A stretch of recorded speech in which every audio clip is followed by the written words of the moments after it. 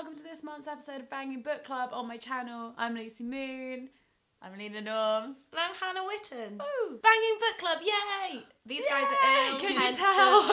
it's low energy here this month. I'm And really two out of sorry. three Got of us Tesco bag ill. by my feet in case they throw up. That's Do you not actually? true. I brought chicken goujons. Oh god, that was good. Healing properties. Chicken goujons for the soul. This month we have been reading Bonk, a book by Mary Roach, and it's about the curious coupling of sex and science. Emphasis on curious because I'm still a little bit curious. I I'm think we really all agreed. curious. We recorded the podcast. Uh, you can go and listen to that in the Yeah. link below. But in the podcast, we talk about how there's not many conclusions, and that was fine. Because I, I realised that there probably aren't any. If Mary Roach, she gets really obsessed. Like if Mary Roach Yeah. hasn't found it, they're probably not out there. Just housekeeping. There is a long podcast where we discuss the whole book. This will just kind of be a brief overview video. So if you haven't read the book, you can still watch this video. If you have read it, then you can listen to the podcast. If you don't know what Banging Book Club is, it is a monthly podcast and video series that we are doing together about sex books. Books about sex. Uh, we've got the whole reading list on a Google Doc somewhere. Can one of you guys please link me to that because I haven't seen it for a long time. Trigger warning: the book there is some mentions of rape. Although I would say it's not like a description; it's more of a discussion on. Previous episodes have been up on Leena's channel and my channel if you want to catch up. So let's talk about Bonk. I think for all of us, we said this podcast too, but for all of us, we are quite humanities um, orientated. So I think for this, this for me, this was a little bit of a struggle. Not in that it was particularly too hard or to, to like really understand. Like my basic GCSE science got me through. Yeah. Yeah, yeah, yeah. Um, following it at least, but just from an enjoyment perspective, I was like, this is a little bit heavy on the science. Very sciencey. Um, yeah. However, Mary's voice comes through really strongly, I think, in it, and it's kind of more of a columnist kind of vibe. Yeah, they're all Yeah. kind of. I'd say this is a collection of essays. Yeah, she Yeah. definitely has a personality in it, and the narrator Mary also takes part in some of the experiments and sex research that's being done, hmm. which And I think as well, like a lot of this stuff, or a lot of the experiments aren't, aren't particularly revolutionary, like now. Well, they are, hmm. but it it's goes through a history of different sex research. So hmm. from like Masters and Johnson in the '60s to like now. Yeah. Also, But a great not. bit about clitorises. Clitorises? Clitori? What's the uh. plural? And Yeah. whether there's a scientific reason properly why you don't orgasm during penetration. literally break it down by the centimeter. Special shout out to whoever illustrated the cover. Yeah. It's like a penis pinata. what is this penis thing? Yeah. It's like a really weird light feature. I want. I think we all we all learned something. Yeah, I learned. Well, I learned sure. a lot, but I can't remember half of it.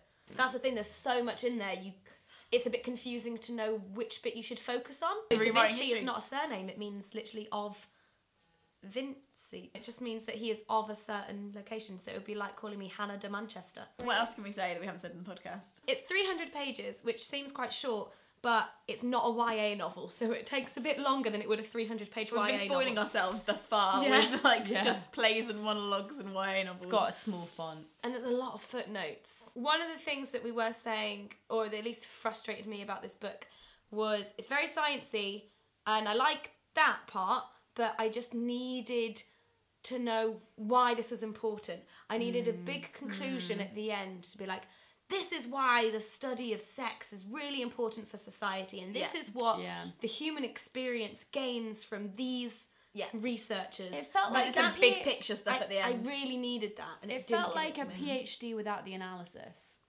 Like you just got all the evidence. Yeah, it was like this happened and this happened and this happened and this happened, and I'm like, how and why? yeah, I would also just like more banter.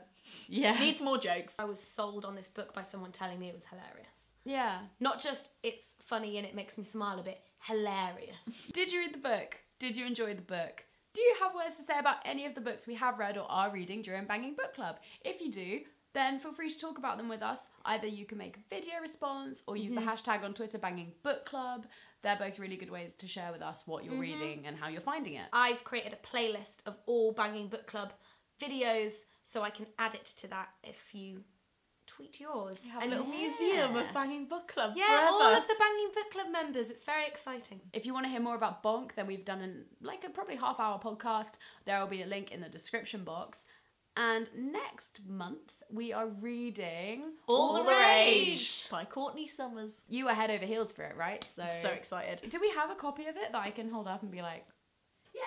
Sweet. This is All the Rage. Leena just found it for us. Thanks, Leena. No props. Okay, thank you so much for watching. We've had a really nice time talking about this, and I hope you've enjoyed it too. I will see you in my next video. Bye. Bye.